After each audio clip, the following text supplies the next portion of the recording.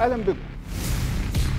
كواليس ما جرى في 30 يونيو وما قبلها وما بعدها. شهادة حضرتك على 30 يونيو. كيف تستخدم القوى بشكل سلمي. وتحقق نتيجة سلمية. ودي المعادلة اللي اتعملت في سنتين اعلنا محمد مرسي هو اللي إيه؟ هو اللي فايز. مم. فهددوا لو نتيجة غير كده هيحدث إيه؟ هتكون الدم للركب.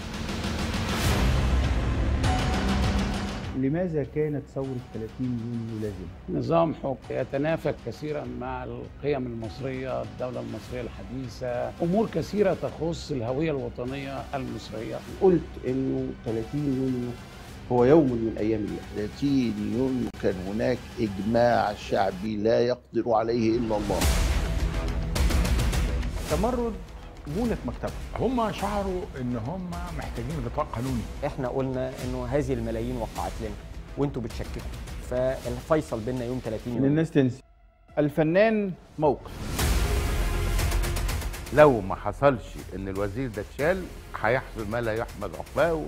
هيبقى في قرار كل هيتم إحنا موجودين هنا اليوم 30 يونيو عندما تحين اللحظة التي حددها الشعب المصري في 30 يونيو للخروج لكي يسقط النظام سنكون في أول الصف انت أعلنت إنه مفيش إغلاق لأي قناة؟ أي قناة فضائية لم تغلق. آه. ورغم إنه دي كانت الخطة الإخوانية. اللي حصل في 30 يونيو إن في حالة رعب إن البلد تتخطف منه.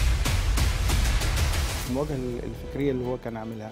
هل عرضته لتهديدات؟ نعم فدا آه. والاغتيال حاول تغتيال ليه جيم بركات تحديدا؟ فهو الذي أفشل خطة تنظيم السياسة الدولة الوطنية المصرية بما تمثل من تنوع لازم تكون حاضرة ما, ما؟ حصلتش مواجهات في هذا لا الاطار أنا استقلت من أول يوم و... وكان في ضغوط شديدة إن إحنا نرجع إزاي شفت دور الجيش في هذه الثورة؟ لا تقوم الثورة ولا تنجح إلا إذا وقفت مؤسسة من مؤسسات الدولة إلى جوار السائرين. الشعب المصري 90% مع الرئيس عبد الفتاح السيسي. ورجعنا مع حضراتكم وضيفنا الأستاذ الدكتور محمد الباز الشاهد. الشاهد الموسم الأول آه، الشهادة على شاهد ثورة- شاهد على الشهود. آه 30 يونيو ثم الشاهد على آه، عنف, العنف. وإرهاب الجماعة الإرهابية ثم الشهود على حرب أكتوبر م. والآن الشهادة أو على التجربة على المصرية. التجربة المصرية. كيف أتت الفكرة؟ وكيف تطورت؟ والله هقول لحضرتك أنا مشغول طول الوقت بال- بالذاكرة الوطنية طول الوقت. وبعدين عندي آه، موقف إنه يعني في ال وإحنا صغيرين شوية يعني. آه، لما قريت الفترة بتاعت عبد الناصر حصلت لي شوشرة لأنه لقيت الرواية المتاحة أكتر آه، هي رواية الإخوان فقريت الأول عن عبد الناصر في كتب الإخوان أيوه لأنها كانت متاحة أيوه كانت رخيصة وكانت بتوصل لل- للناس كبير. جهنم بقى ومش عارفة آه إيه آه بتاعت. آه واحمد رائف وزينب الغزالي. وجابر رزق ويعني وكل كل ال- كل بس الحاجات كلنا. قرينا الكلام آه. ده الأول لما جيت بعد شوية بقى قريت الرواية من الناحية الأخرى.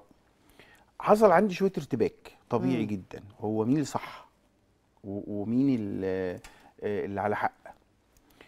يمكن يمكن شوية إنه ده من قدر الله يعني إنه إنه ما يعني لم أختبر ابدا بإنه أنا كنت في يوم أو في لحظة من حياتي آه، شايف الإخوان إن هم حاجة كويسة ولا أعجبت بيهم ولا انجذبت على بيهم الإطلاق. ولا على الإطلاق. يعني بأفكارهم. شوفي بصي أنا بعتبر ده قدر الله اللي هو يعني مثلا فكرة إيه إن ممكن يبقى ناس تبقى إيه شافت الإخوان شوية أصل شايفاهم كويس شوية أصل على الإطلاق كنت متحصن من هو تحصين بقى ربنا اللي أيوة. عمله يعني يعني صحيح آه ف ف فالفكرة دي كانت شغلاني جدا